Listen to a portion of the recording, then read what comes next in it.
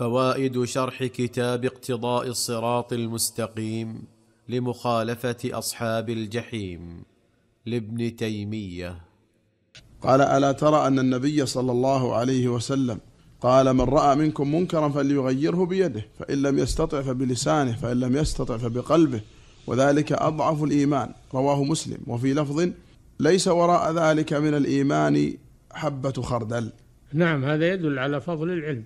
على فضل العلم وإن لم يقترن به عمل فإنه إذا كان عنده علم فسينكر هذا الشيء ولو بقلبه لأن قلبه ينكر هذا الشيء بما أعطاه الله من العلم والتمييز. وإن لم يبتعد عنه بفعله وبلسانه فيكون عنده إيمان ضعيف. بخلاف الذي ليس عنده علم فإنه لا يكون عنده إنكار ولا بالقلب فلا يكون عنده إيمان.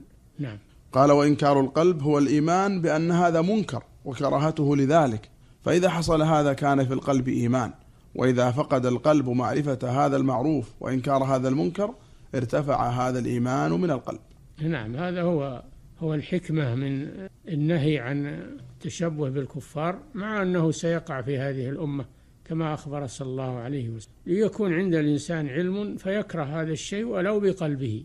فيكون عنده إيمان ولو ضعيف. خير ممن ليس عنده إيمان أصلا.